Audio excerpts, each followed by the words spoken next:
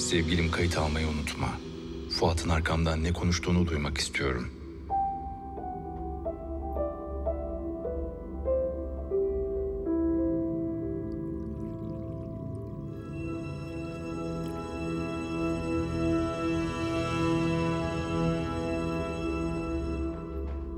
Sizinle açık konuşabilir miyim Melek Hanım? Tabii ki lütfen buyurun.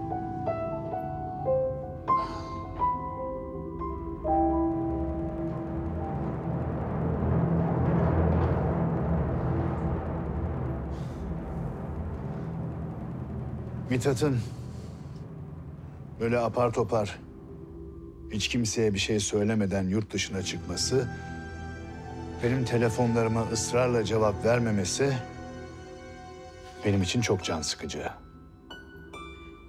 Ben Mithat'tan boşanmaya karar verdim Fuat Bey.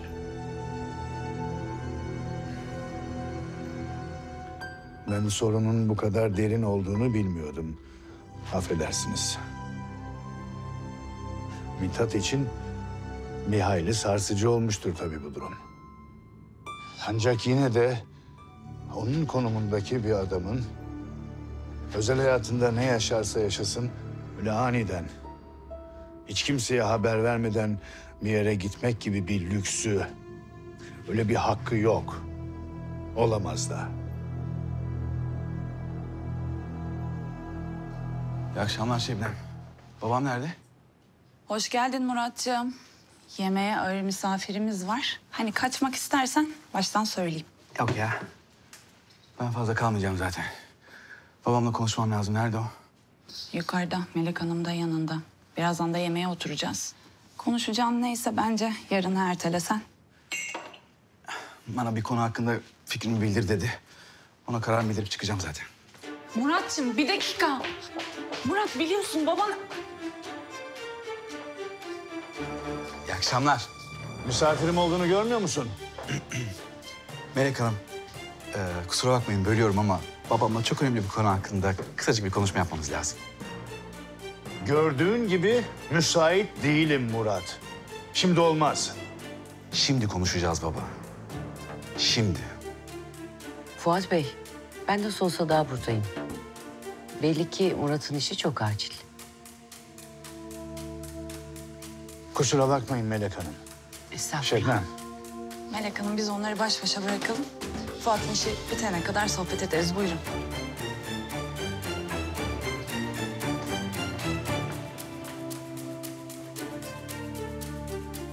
Füsun'la evlenmemiz için şart koştuğun şeyi düşündüm baba. Ya buraya geliş şekline bakılırsa çok da iyi düşünememişsin.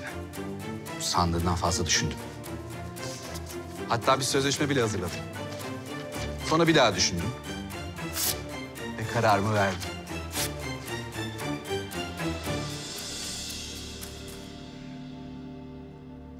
Sonuçlarına da katlanacaksın o halde. Pekala. Seni evlatlıktan reddederim. Anlıyor musun beni? Değil mirasımdan şu andan itibaren sana sağlamış olduğum bütün imkanlardan seni medederim.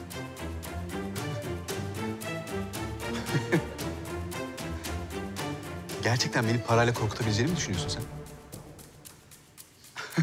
Sevdiğim bir insanın incinmesi karşısında senin bütün bu servetinin benim gözümde pul kadar bile değeri yok. Ama sen hiç kimseyi sevmediğin için bunun ne demek olduğunu bilemezsin.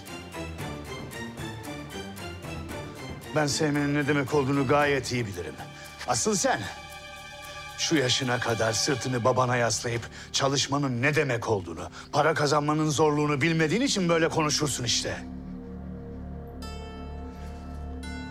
Senin gibi para kazanmaktansa açlıktan ölmeyi tercih ederim.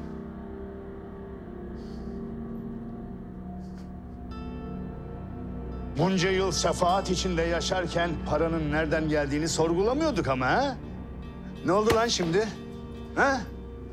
Üç günü avukat bozuntusu kızla dolaşınca başımıza ahlak kumkuması mı kesildin? O paranın nasıl kazanıldığını başından beri biliyordun. Bana burada artistlik yapma. Sen beni hiç anlamadın değil mi ya? Sen beni hiç anlamayacaksın değil mi? Sorun para değil. Sorun paranın nereden geldiği de değil. Sorun para için bana Burak'a yaptırdıkların. Sen az önce kiminle konuşuyordun farkında mısın? Kiminle hiç konuşuyordun farkında mısın sen? Bize kız kardeşini öldürttüğün kadınla Ne biçim konuşuyorsun sen? yalan